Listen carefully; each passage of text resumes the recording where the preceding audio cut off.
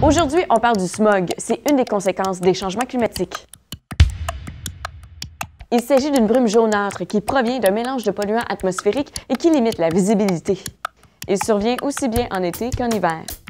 Environ 95% des polluants entrant dans la composition du smog proviennent des activités humaines, notamment du transport routier, toujours en croissance au Québec. Pour la santé des humains, le smog peut représenter un danger, surtout du côté des fonctions respiratoires et cardiovasculaires.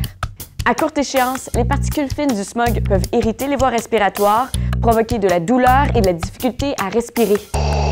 Ce qui peut entraîner à long terme le développement de maladies potentiellement mortelles comme l'asthme et les problèmes cardiaques. Maintenant, comment se protéger? Lors d'une période de smog, réduisez votre exposition en diminuant vos efforts physiques à l'extérieur. Si vous êtes particulièrement sensible à la qualité de l'air, n'hésitez pas à garder vos médicaments sur vous. Enfin, informez-vous quotidiennement de la qualité de l'air sur le site d'Environnement Canada. Et rappelez-vous que le smog n'est pas une fatalité, on peut tous faire notre part.